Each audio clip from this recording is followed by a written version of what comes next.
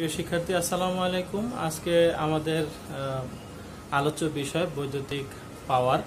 তো আজকের আলোচনা শেষে তোমরা বৈদ্যুতিক পাওয়ার কি কাকে বলে এবং বৈদ্যুতিক পাওয়ার এর একক প্রতীক এগুলো সম্পর্কে জানতে পারবে এবং এগুলো সম্পর্কে তোমরা ব্যাখ্যা করতে পারবে। আমাদের আজকের বৈদ্যুতিক পাওয়ার অধ্যায় ষোলো।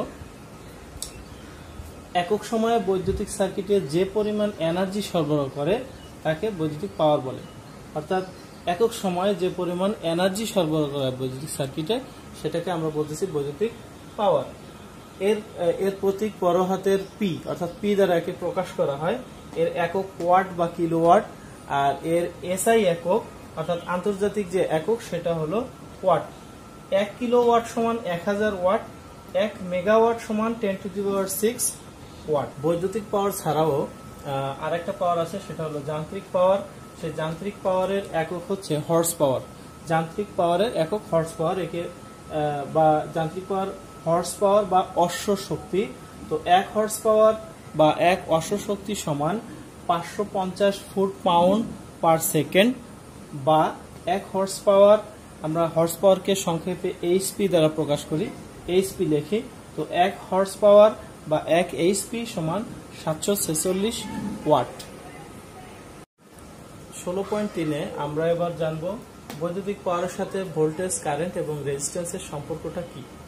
তো আমরা জানি যে একটি বৈদ্যুতিক সার্কিটের কারেন্ট এবং ভোল্টেজ এ দুটোকে যদি আমরা গুণ করি, অর্থাৎ বৈদ্যুতিক সার্কিটে কারেন্ট প্রবাহিত হয় ভোল্টেজের প্রেসারে তো এই কারেন্ট এবং ভোল্টেজকে যদি আমরা গুণ করি, তাহলে কিন্তু আমরা পাওয়ার পাই। তো বৈদ্যুতিক পাওয়ার সমান সমান কারেন্ট এবং voltage P equal to I into V আর আমরা জানি যে একটি মানে কাজ করার সামর্থ্য মানে কাজ করার হারকেই পাওয়ার বলে। তো সেখানে যদি আমরা মনে করি একটি ব্যাটারি একটি ব্যাটারি টি সেকেন্ড সময়ের সময়ে ডব্লু কার্য সম্পাদন করে। অর্থাৎ একটা ব্যাটারি দিয়ে যদি আমরা কাজ করি, তাহলে এই ব্যাটারিটা টি সময়ে ডব্লু পরিমাণ কাজ সম্পাদন করে।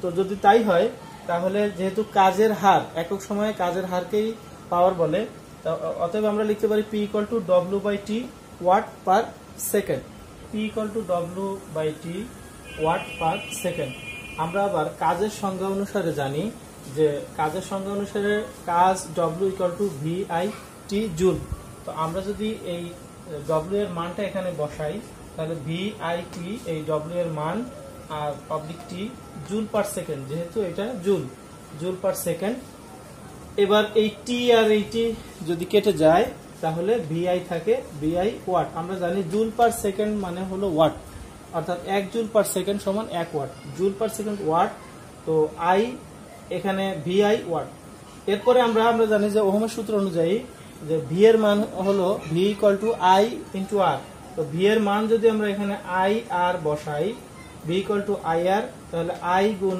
I I square R R I square R তাহলে ওয়াটের সাথে কারেন্ট এবং রেজিস্ট্যান্সের সম্পর্কটা আমরা পেয়ে গেলাম। অর্থাৎ P equal to I square R watt এখানে আমরা এর আগের বার ভি এর মান বসিয়েছি।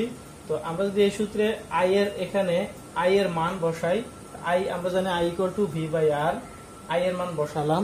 তো I I equal to V by R এখানে স্কোয়ার যদি থাকে V square by R square into R সেখান থেকে আমরা যে আর আর এখান থেকে একটা আর কেটে যায় তাহলে থাকে V square by R one তার মানে আমাদের এখানে দাঁড়াল দুইটা সূত্র, যে একটি একটি সূত্র হলো P equal to I square R আর একটি সূত্র হলো P P equal to V square by R V square by R one অর্থাৎ আমাদের সূত্রটা গিয়ে দাঁড়াল কারেন্ট ভোল্টেজ এবং রেজিস্ট্যান্সের সম্পর্ক ওয়াটের সাথে পি এই পিটা watt I current R resistance V voltage তো পি সমান সমান দাঁড়াল P equal to I square by R বা সমান সমান V square by R watt যান্ত্রিকভাবে কার্য সমান বল ইন্টু দূরত্ব, অর্থাৎ একটা বল এবং ওই দূরত্ব এটা গুণ করলে আমরা কাজ পাই। তো বৈদ্যুতিক পাওয়ার অর্থাৎ কাজের হার সমান সমান বল ইন্টু দূরত্ব অতিক্রমের হার। এই দুইটা, অর্থাৎ বলটা তো ভোল্টেজ দূরত্ব অতিক্রমের হার কারেন্ট তো আমরা যদি এইটাকেও চিন্তা করি, তাহলে P equal to voltage into current অতএব P equal to VI watt এটাই ছিল কারেন্ট ভোল্টেজ এবং রেজিস্ট্যান্সের সাথে পাওয়ার এর সম্পর্ক।